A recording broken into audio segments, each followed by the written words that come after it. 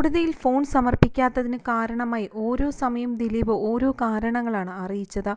ആദ്യം പറഞ്ഞത് ഫോൺ കയ്യിലില്ല ശാസ്ത്രീയ പരിശോധനയ്ക്ക് അയച്ചു എന്ന്.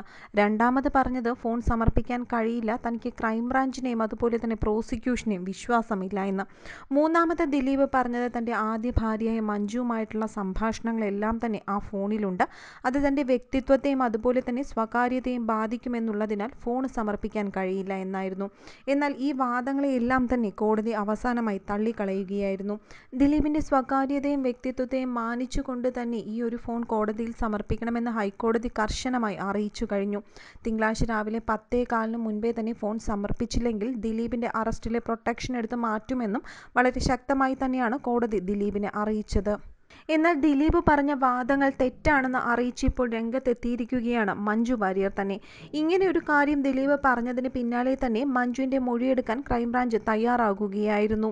ദിലീപിന്റെ മുൻ ഭാര്യയായ മഞ്ജുവിൽ നിന്നും അന്വേഷണ സംഘങ്ങൾ വിവരങ്ങൾ തേടിയിരിക്കുകയാണ് എന്നുള്ള വാർത്തകൾ തന്നെയാണ് ഇപ്പോൾ പുറത്തു വരുന്നതും ക്രൈംബ്രാഞ്ചിനോട് പറഞ്ഞതെല്ലാം കള്ളമാണെന്ന് മഞ്ജു പറയുകയും ചെയ്തു. ദിലീപ് പറയുന്ന തരത്തിലുള്ള സ്വകാര്യ സംഭാഷണങ്ങളൊന്നും നടന്നിട്ടില്ല എന്നും മകളുമായി ബന്ധപ്പെട്ട കാര്യങ്ങൾ ഒന്നോ രണ്ടോ വട്ടം സംസാരിച്ചു എന്നുമാണ് മഞ്ജു വാര്യർ മറുപടിയായി നൽകിയിരിക്കുന്നത്.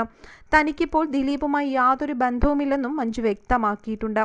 എന്നാൽ മകളുമായി സംസാരിക്കാറും കാണാറുമുണ്ട്. ദിലീപ് തന്റെ പേര് ക്രൈംബ്രാഞ്ചിന് മുന്നിൽ വലിച്ചിഴച്ചതിൽ മഞ്ജുവിന് അനിഷ്ടവുമുണ്ട്. ദിലീപിന്റെ പ്രസ്താവന തെറ്റിദ്ധാരണയുണ്ടാക്കുമെന്ന ചിന്തയും മഞ്ജുവിനുണ്ട്.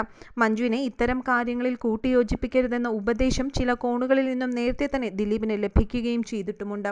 അതുകൊണ്ട് തന്നെ ദിലീപ് മനഃപൂർവം മഞ്ജുവിനെയും കൂടി കൊടുക്കാൻ വേണ്ടിയിട്ടാണോ ഒരു പ്രസ്താവന നടത്തിയത് എന്നുള്ള ചോദ്യങ്ങളും ഇപ്പോൾ പുറത്തു വരുന്നുണ്ട്.